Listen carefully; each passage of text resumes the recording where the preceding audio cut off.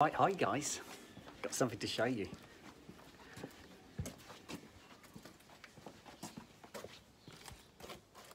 We've got a bit of sun. it's finally come out. Uh, so I went and got the lawnmower. So I'm going to cut the grass in a minute. Where's the lawnmower? Lawnmower's behind me by the wheelie bin, look. I just went and collected the uh, lawnmower. So I'm going to have a cup of tea. I've got my dinner on at the moment. It's another five minutes and that'll be done. So I'll have that. The grass is dry nice. So hopefully, if it's nice and dry after I've had my dinner, I'm going to come out here and cut the grass. So I've got my washing on the line, look, or some of it. Some of it I had put in the tumble dryer, but yes, I've got some on the line. So yes, at last, the sun did finally put an appearance in, guys. Not so bad after all that.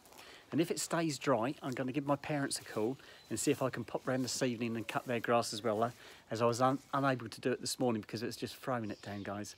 So I'm going to have my cup of tea and I shall speak to you guys later. Okay, bye-bye for now.